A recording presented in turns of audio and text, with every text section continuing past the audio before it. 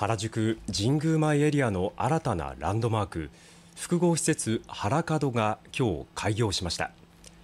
アパレルショップをはじめクリエイターの制作拠点など新たな文化を創造する施設を目指します。東急プラザ原宿原門ここに開業です。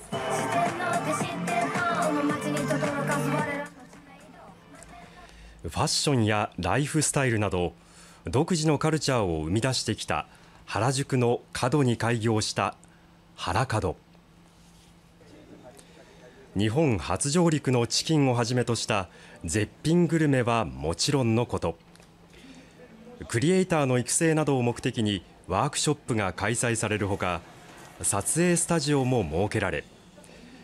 この場所から新たなトレンドの創出を目指します。また